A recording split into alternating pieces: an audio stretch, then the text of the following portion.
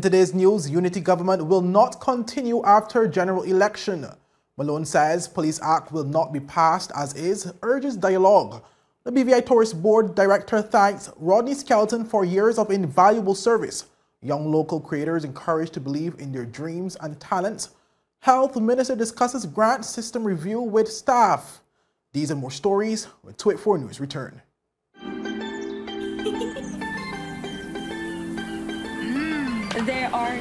Ways to enjoy life, like so many ways to count on Popular.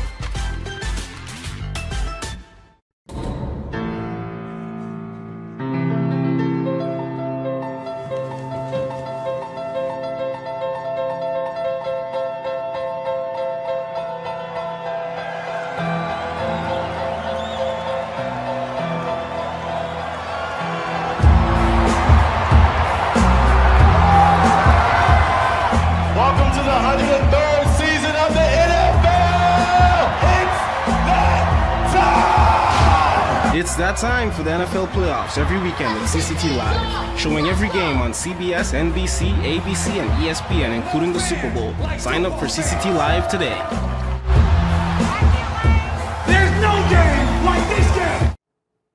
Well, welcome viewers to the Thursday, February 9th edition of 284 News. I am Kamal Haynes, bringing you the latest out of the British Virgin Islands. While leading today's news, the coalition national unity government will cease to exist after the House of Assembly has been dissolved to allow for the 2023 general election. Our Premier Dr. the Honorable Natalio Wheatley gave the confirmation during his Virgin Islands Party Congress election last Sunday, stating that the unity government has served its intended purpose. Well, he said moving forward, his Virgin Islands party will be seeking a clear mandate from residents throughout the territory. Okay, the National Unity Government, this coalition, was something that was done um, to really avoid crisis. Uh, we came together as three parties, of course. Now we're seeking a, a clear mandate from the people of the Virgin Islands moving forward. What administration they want to take not only the reforms forward, but the governance of the territory as we chart a course for the next 15, 20 years. Uh, that's what we're asking for the people of the Virgin Islands. Of course, the coalition has served its purpose in taking us to the elections.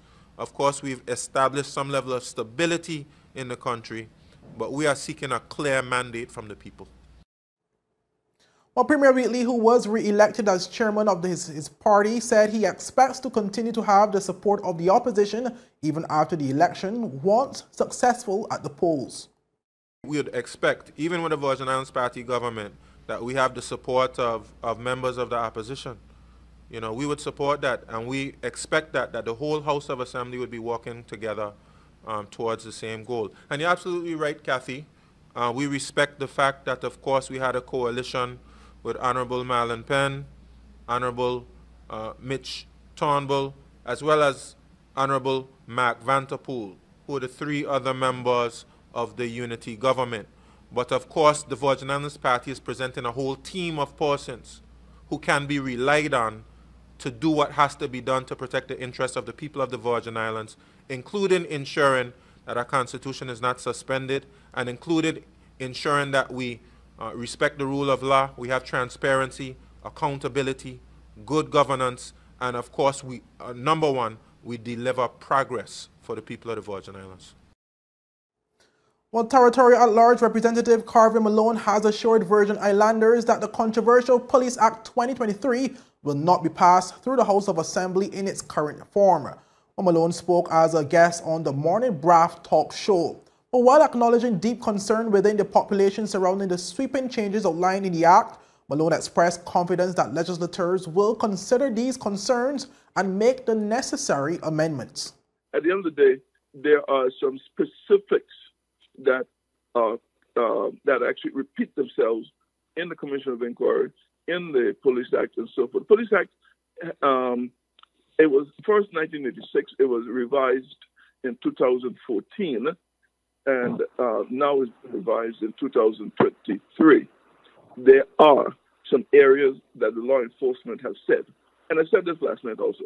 There are some areas the law enforcement has said that needs to be beefed up But when you look at the sweeping changes and the many areas, there was a young lady on last night on the program that has a very keen understanding as to some of the challenges it has. I have received calls from officers. I've received calls from um, defense attorneys. I've received calls from citizens who are deeply concerned about the bill as it is. The premier, to his to his um, to his credit, have said it will not pass in the form that is in. Uh, that is because when it goes through the second and third reading and it goes to committee stage, based on the based on the views that we'll continue to hear from the public, um, amendments could be made. Um, we will see whether or not, after the amendments are made, whether or not the governor will be minded to, uh, to actually assent to it. On the issue of the apparent rush to see the act through, Malone reserved comment. He said that he will leave that issue for the Premier to answer to. More excitement than this was when the public officers were invited to disclose all the assets, how many how many socks their dogs wear, how many how many um, how many scarves for their cats. Um, the whole thing is that you know everyone saw it as a you know as being intrusive, but so... this is part of the recommendations that came out from the Commission of Inquiry. So the fact is is that the views are being heard. There is an informal meeting tomorrow with the House of Assembly members to discuss just this one particular bill that is coming forward. I invite everyone, not just to call me, but call whoever they reckon they have the ears to, all of the members of the House of Assembly, call them. Let them know uh, the concerns that they have, and and um, it'll, it'll, it actually should be voiced. But while members of the public continue to share their discontent through various mediums, Malone is urging concerned residents to take their issues directly to the source. He believes that concerns need to be voiced directly to legislators. But despite recently crossing the floor to rejoin the government side of the House of Assembly, Malone says that his alignment will not interfere with his decision to vote for or against the bill as he sees fit. As you see from the last nine months, I have no problem standing alone for what I feel is right. You know, um, you know, you know, I'm the I'm the one who always take all the blows for doing what I do, and then people come and then when they find out that what I said was a correct stance, no one ever come back to me and say, "Well, look, you took the right stance." You know, I stand alone on many occasions. I have no problem standing alone for what is right. Rhodni Skelton, who served as Deputy Director of Tourism at the BVI Tourist Board and Film Commission for the past five and a half years, has moved on to the next phase of his career. When Mr. Skelton, a 19-year veteran of the BVI Tourist Board, was appointed as the Deputy Director in May 2017 after previously serving as Film Commissioner and Events Marketing Manager. The chairman of the board, Mrs. Delma Maduro, and director of tourism, Mr. Clive McCoy, thanked Mr. Skelton for his many years of invaluable service to the board and the territory in the various capacities in which he served and wished him success in the next chapter of his professional journey. Well, content producer Kyra James is encouraging young Virgin Islanders to believe in themselves and their talents, as anything is possible once an individual has the right mindset. Well, Kyra's encouraging words came during a recent interview with 284 Media, where she spoke about her experience and involvement in the just concluded 65th Grammy Awards. While working for the Academy, Kyra had the opportunity to interact with the musicians, producers, recording engineers, and other musical professionals. She said a career in media was not her initial professional goals, but spoke on how she discovered her love for media and producing content when I graduated high school, I wanted to become a nurse practitioner or something. I don't know if you remember. Um, for job training, I spent summers like at the hospital or at Bougainvillea working surgeries. And then when I went to college, I started off as a biology major. And it was during that time where I realized that I, I I did I wasn't fulfilling my purpose, but I didn't know what it was. I mean, so I was at the University of the Virgin Islands, feeling very stuck, feeling very lost, which prompted me to do a lot of my own research into the degree offerings at university. And when I saw communication, I was like, what's that? When I did all this research on what you can do with this degree, I realized that a lot of it was very aligned with the things that I do all the time. I was at college uh, coming up with these crazy video ideas, forcing my friends to make my concepts come to life. I spent my summers learning how to use iMovie, begging my mom to buy me new equipment. And so it was inside of me this whole time. I was literally doing it. But without that education, there was no way for me to put the two together. Well, Kyra also spoke about the risk she took by gambling on herself and believing in her ability which eventually landed her in the role of content producer at the Recording Academy. LinkedIn was how I got that job. I get that question a lot like, how do you begin these cool opportunities? And how do, were you able to work with this person and that person? And I try to encourage people to see themselves as being very capable.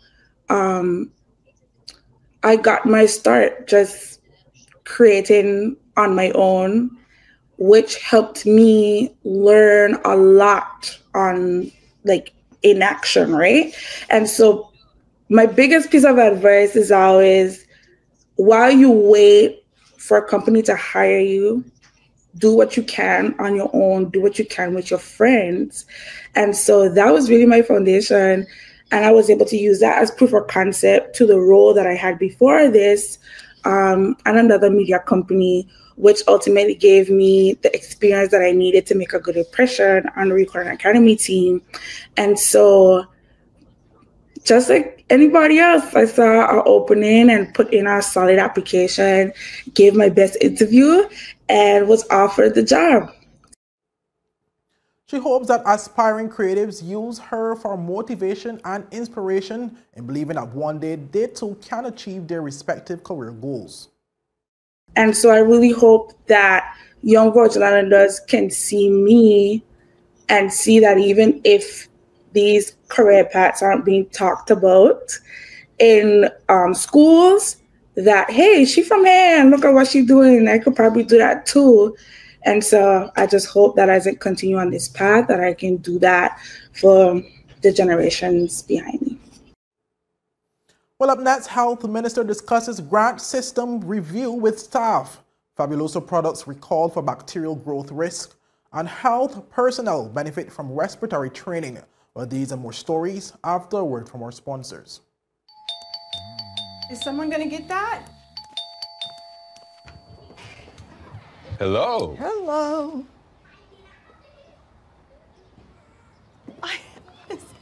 So nice of you to have cleaned up for us.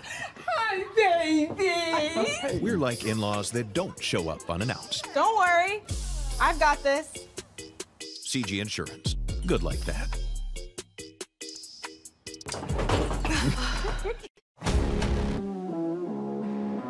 Catch Super Bowl 57 on CCT Live. Sign up today by calling 444 4444.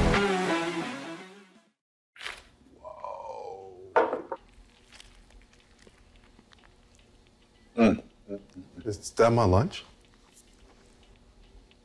Hmm? Is that my lunch? Mm-mm.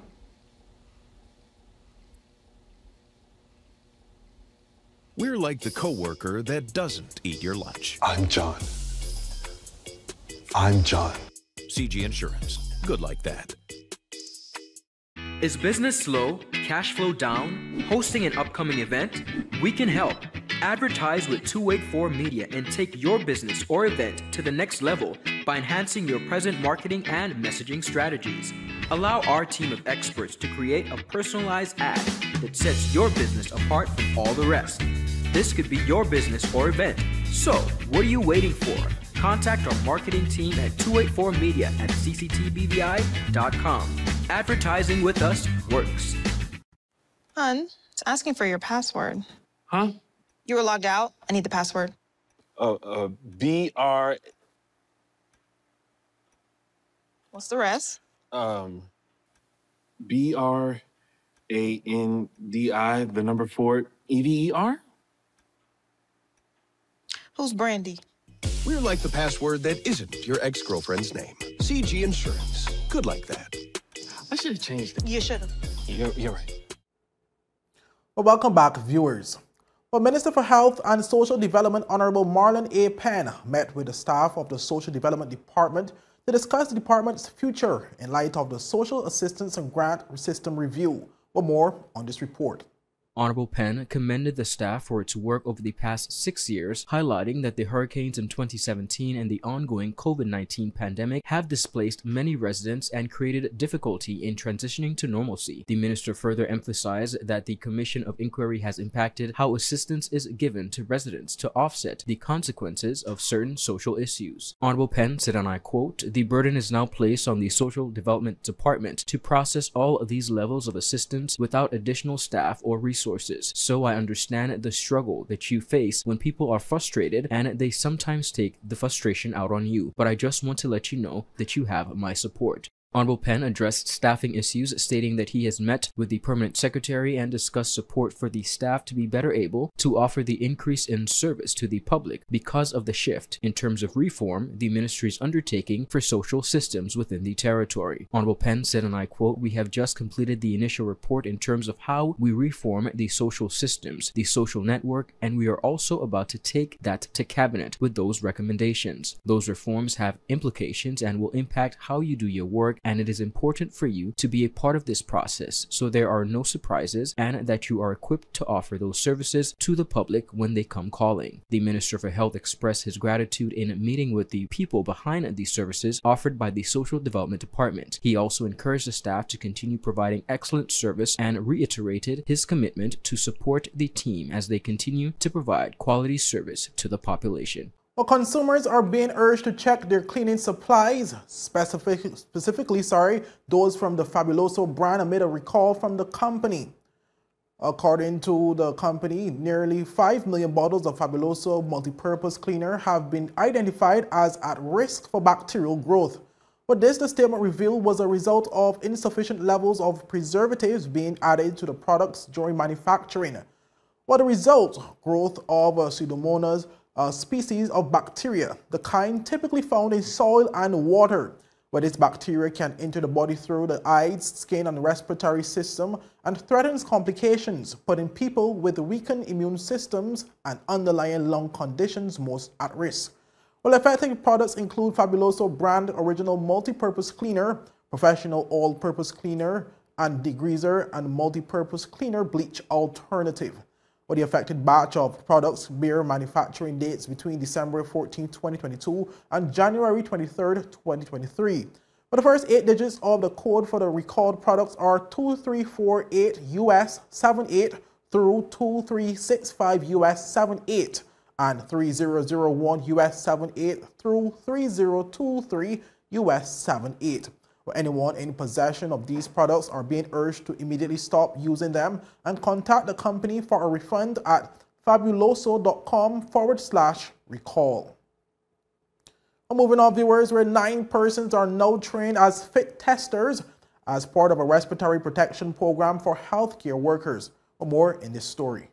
Chief Nursing Officer Ms. Jacinthe Hannibal said fit testing is one part of the comprehensive respiratory protection program geared towards managing respiratory hazards in healthcare facilities for the benefit of healthcare workers and patients. Ms. Hannibal said healthcare workers are exposed to many hazards daily, including bacteria, viruses, fungi, chemicals, hazards, and radiation that cause injuries and ill health to themselves and their patients. According to the Chief Nursing Officer, when these hazards are respiratory in nature, healthcare workers must use controls such as respirators to reduce or eliminate the transmission of disease. Ms. Hannibal further stated that air purifying respirators such as the N95 mask are a main type of control use. These masks help to protect the respiratory system of healthcare workers as they care for patients. She added, sometimes these masks are not the right fit for the particular healthcare worker, which leads to gaps in their protection and exposes the worker to infection. Ms. Hannibal further explained that the training equipped persons within the health services with the skills to fit test workers as fit testing helps to ensure that the mask they are wearing is providing them with the best possible protection. Representatives from the Ministry of Health and Social Development and the BVI Health Services Authority attended the training facilitated by infection prevention and control specialist in the UK, Miss Janice Topoulos. Well, up next, CIBC First Caribbean named Best Digital Transformation Bank 2022 and Antigua opposition calling for COI amid human trafficking concerns. With these stories, when 284 News return. Father Jesus, that line here long like church service. Hmm. Alright, do enjoy the rest of it then. Next customer line, please. Wait, hold on a second. Yes, sonny boy, come, yes, Good morning. Good morning, sonny boy. On there. You must stop cut front of people. It's okay, it's okay. I'll take care of it. What? No, no man protect you. How may I assist you? Yes. You want top of power? Eh? You want top of power? Eh? Join the prepaid party with CCT and enjoy more affordable data plans, more top-up promotions, more savings with hero bundles, and more value for your money each and every Tuesday with Top Up Turn Up Tuesday. Visit a CCT store today or anywhere CCT Top Up is sold and top up your phone. 5, 10, 15, 20, 25, 30. You want Top-Up of Catch Super Bowl 57 on CCT Live. Sign up today by calling 444 4444.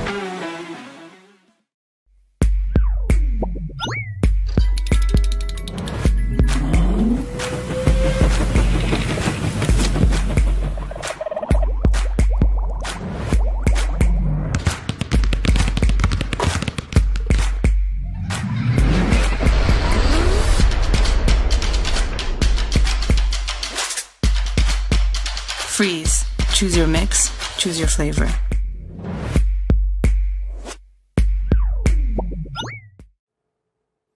Welcome back, viewers, and thank you so much for sticking with us. Well, CIBC First Caribbean has copped another prestigious award for the great strides the regional bank has made in the digital banking space. For more in this report.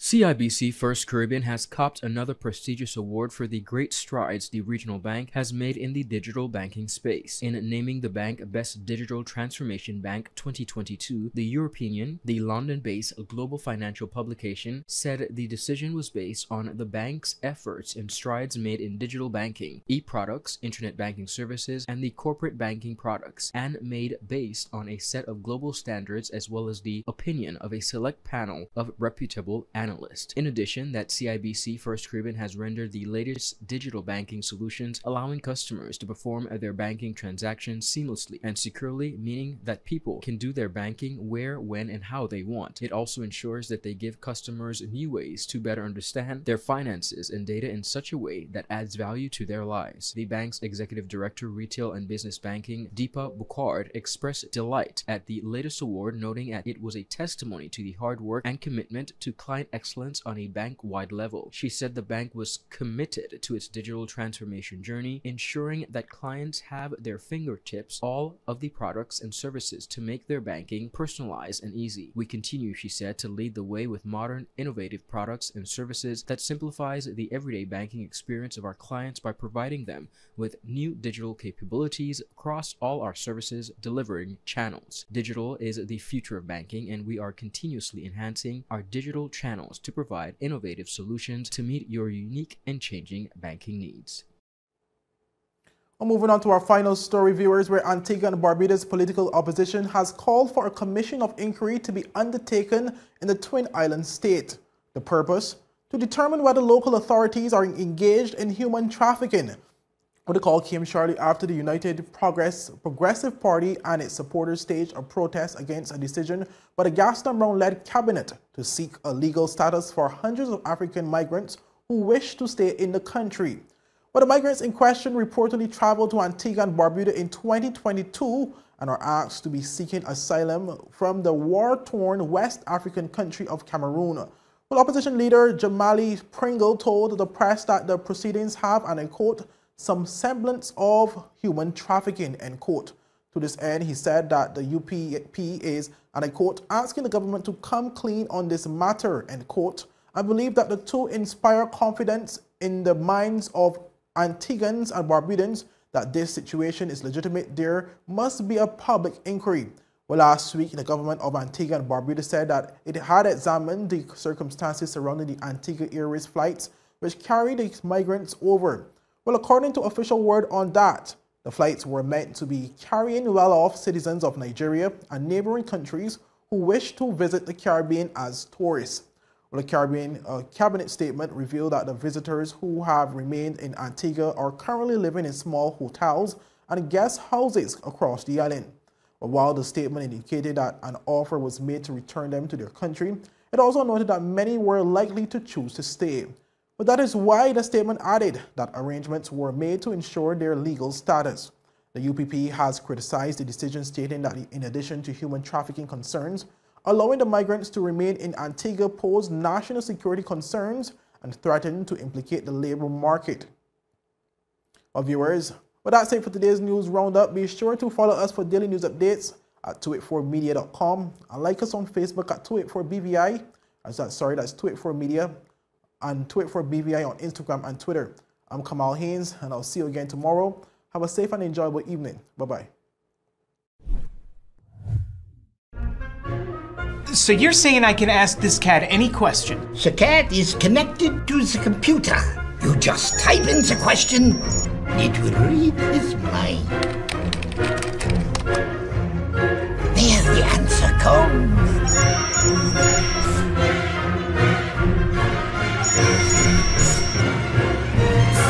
Man! I've been looking for this for weeks.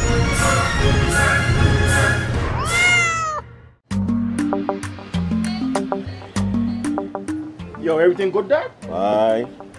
This thing got me one way, Daddy. What you mean? Ever since I hook up with this thing, can't eat, I can't sleep. This is the first thing I touch it when I reach home. What you really? Hey, this thing like you, you know? Dad, this thing got me staying home, keeping out that trouble me. Wow. What your name is? Shit.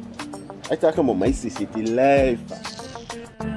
Don't worry about missing your favorite series, sports, news, and local programming.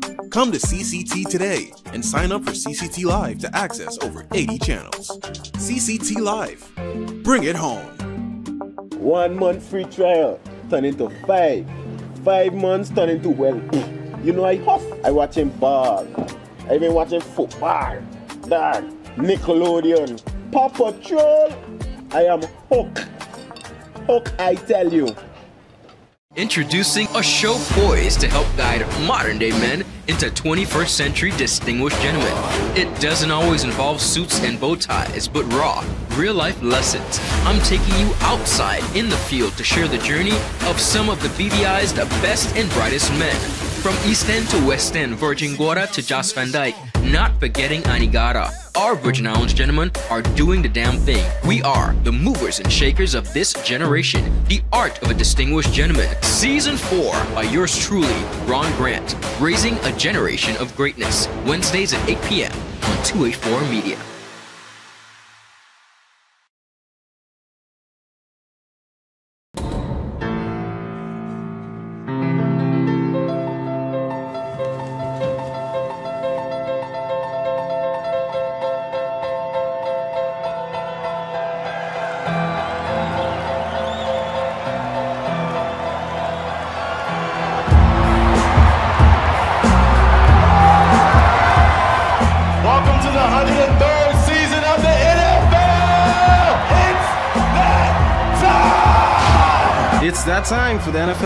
NFL every weekend with CCT Live, showing every game on CBS, NBC, ABC, and ESPN, including the Super Bowl. Sign up for CCT Live today. There's no game like this game. Don't worry about missing your favorite series, sports, news, and local